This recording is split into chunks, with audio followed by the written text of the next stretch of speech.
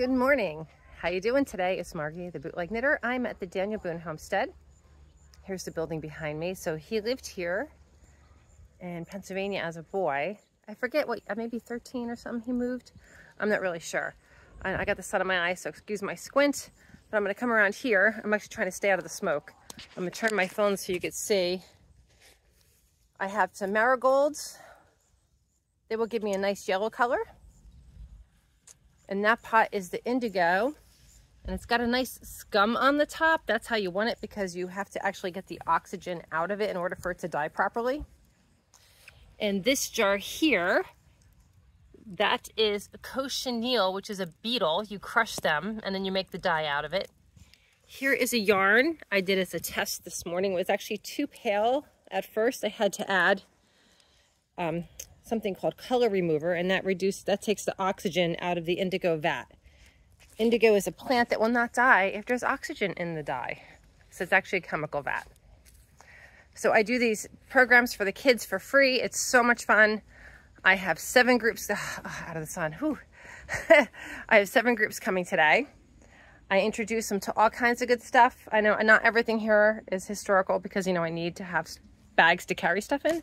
So here is a sheep's fleece. That is a Corriedale sheep. So I explain about how the wool comes from the sheep. Then I have some other dyes as well. I have madder root. I have osage or osage orange. Again, there's some marigolds in a bag. And then this bag, I have some onion skins. I know the bag looks gross because the other day I was doing walnuts and um, the walnut dye tripped all over the bag. If I turn you around nice and easy on the fence over there, you see my red sweater, and then you'll see there is a yarn that is yellow. That is from Marigolds. The yarn that is half blue and half yellow, I did it in Marigolds, and then I dipped it in indigo. These are all different shades of indigo. To get that dark, if I keep dipping this one, it'll end up being that dark eventually. These here are from Madder, M-A-D-D-E-R. So I got the darker color as well as the lighter color. And this one here is with coffee. So what I do is the kids come, I explain to them how clothes were made back in the butter churning days.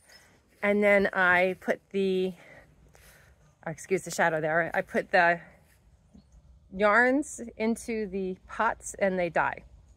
So that's what I do here at Daniel Boone Homestead and I do this at other places as well. It's a beautiful day. I'm very lucky. It's not going to be too cold, not going to be too hot. It's going to be just nice. And I will have shade over here most of the day, so I'm not squinting in the sun all day. And yeah, so you all have a nice day.